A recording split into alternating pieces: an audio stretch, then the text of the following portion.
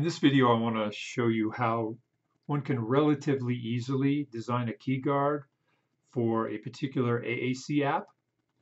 And before I begin, I'd like to just say that everything I talk about today and more is described on this web page uh, of the Volksswitch website. So first thing is I'm going to design a, a keyguard for the Touch Chat app running on an iPad 2 and I've captured a screenshot from the Touch Chat app that I'll use for a number of purposes, um, mostly to lay out the grid area of the of the keyguard. I've also downloaded and and uh, installed the OpenSCAD program as well as the keyguard designer itself. And this is what the keyguard designer looks like when you bring it up in OpenSCAD. It has a display area where it shows the current state of your keyguard design. Uh, and this area over here where you'll do most of your work, which is uh, selecting items from pull down lists, entering text into text boxes or numbers into text boxes um, as you design your keyguard. So all of your work was going to primarily happen over here. So the first thing I'm going to do is I'm going to choose the iPad 2 as the kind of tablet that I'm using. And I am going to be doing my design for the for this particular uh, case.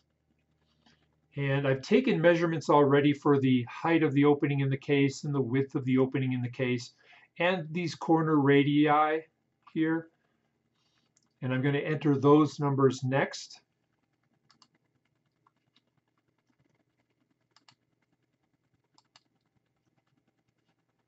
So the height of the opening in the case is 163 millimeters. The width of the opening in the case is 235 millimeters. And the corner radius is 5 millimeters. So I'm leaving that where it is.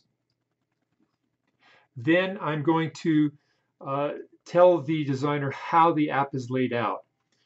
Um, primarily, I'm going to be telling it what is the what is the height of this area up here, the status bar, this message bar, this command bar. Um, and I can do it in one of two ways. One is to simply get out a metric ruler and measure these directly on the tablet. But I can get much more accurate measurements by taking the screenshot and putting it into a graphics program like Microsoft Paint and just looking at what the pixel values are for, for various points on the on the screenshot. And that's the way I did it because it's so much more accurate than using uh, millimeter measurements. I'm not going to show that here, but it's all described on the web page and can be done in less than three minutes. So I'm going to use this section of laying the app out in pixels rather than this one laying it out in millimeters. So the bottom of the status bar is 17 pixels down. And I'm not going to pay any attention to what I see over here until I've got all these numbers in. The bottom of the upper message bar is 63 pixels down. The bottom of the upper command bar is 102 pixels. And then there is no lower message bar or lower command bar. So I'm just going to set these to the total height of the screenshot in pixels, which is 768 pixels.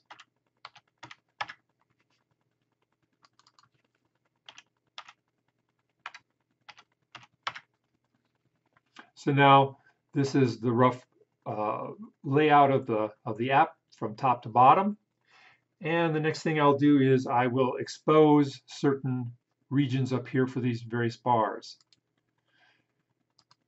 That's in this bar info section. I'm going to leave the status bar covered, but I'm going to expose the upper message bar.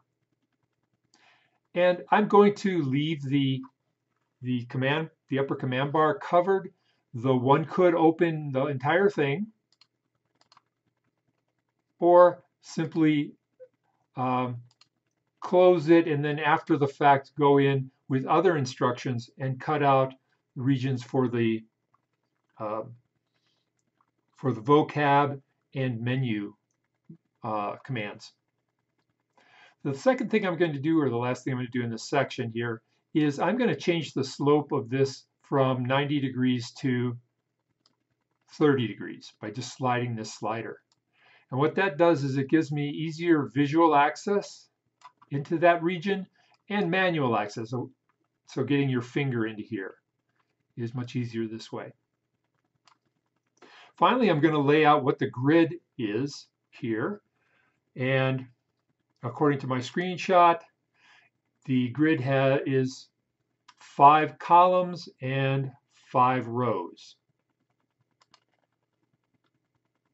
Do that in the grid layout section. Five columns and five rows. And I am just about done at this point. What I will do now is I'm going to compare this layout to the screenshot that I took.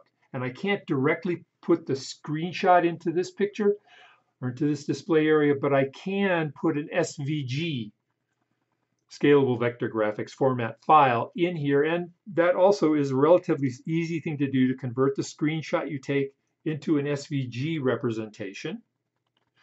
And I've already got that file in the same folder as the designer. And to do uh, to, to display it, all I need to do is choose include screenshot, set that to yes.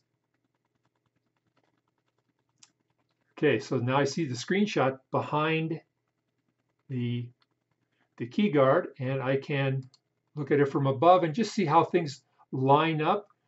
Um, I probably want to make these vertical rails and these horizontal rails a little bit thinner so that I can see this indicator here that this is a, uh, a link to a, a, larger page of more buttons. So I'm going to go back to the grid layout and I'm just going to set these uh, horizontal and vertical rail widths to 3.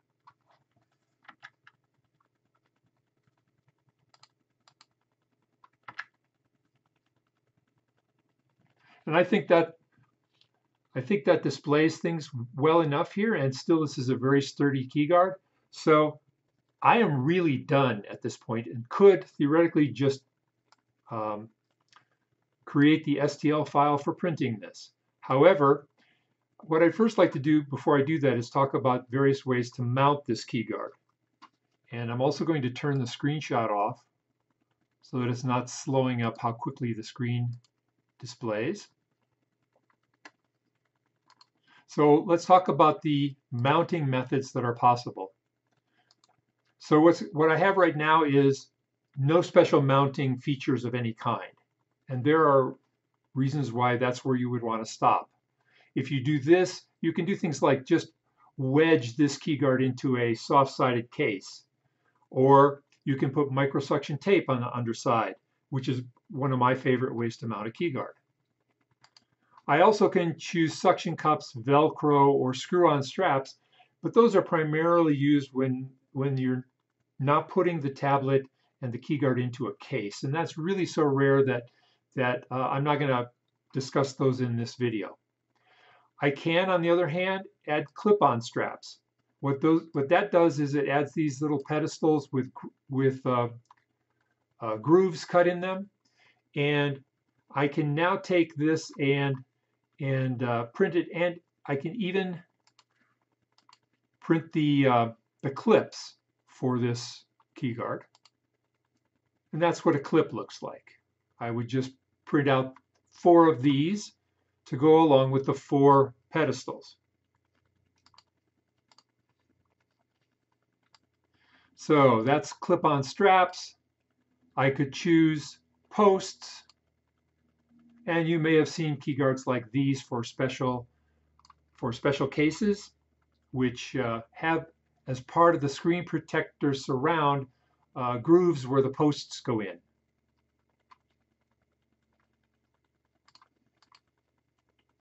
I can add a shelf around the edge.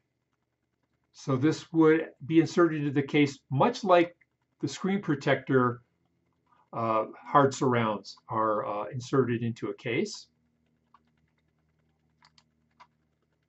I can add traditional slide-in tabs, and they can be horizontally, or at least in the horizontal direction. They can be in the vertical direction. They can be horizontal and vertical. And there's a tremendous amount of control you can have over the height and width of these slide-in tabs. And finally, I can do uh, a raised tab approach if I don't have a lot of space between the uh, edge of the screen and the inner opening of the case. But I'm um, the keyguard that I'm going to actually print is just going to be one like this, and I'm going to wedge it into that soft-sided, let's take a look at that guy again, that soft-sided case.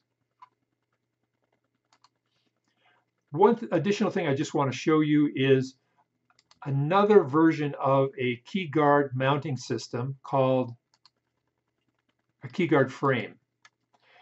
So if I say I have a keyguard frame, then I can define a keyguard that looks like this, which fits inside a larger frame, and I can show you what that would look like as both the unit of the keyguard and the frame itself, just by choosing this option here.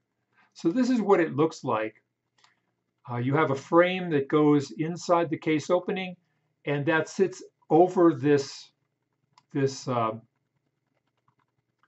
it, keyguard itself, which has little posts. The nice thing about this option here, if you have the space in your keyguard opening or your case opening, is now I can rotate this, this keyguard out of the way um, and, and I can uh, easily access the surface of the tablet for doing things like cleaning the glass or if I need to access things like like uh, settings that don't naturally align with any of these openings. But I'm not going to uh, I'm not going to use this approach uh, for for my uh, keyguard that I'm building in this video. Instead, I'm just going to let me go back here and choose keyguard. So I'm looking at the keyguard. Um, I'm just going to be, print this this look right, right here. So the next step, because I'm done with my design, is I'm going to render this design, which can take a fair amount of time depending on the speed of your computer.